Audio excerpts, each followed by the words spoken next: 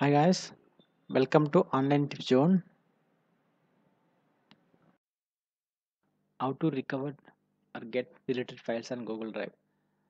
Sometimes we, we can delete automatically. Let's see how to get deleted files. Just open Drive on your device and in the right left side menu you can see bin option with deleted icon. Just click on it in this you can see all deleted items from your or files every, everything on your drive.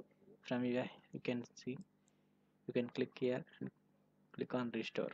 If you want delete forever click on delete forever. If you restore it it will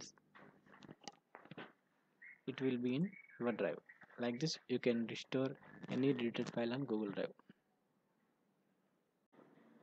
thanks for watching. Please subscribe to my channel to get more videos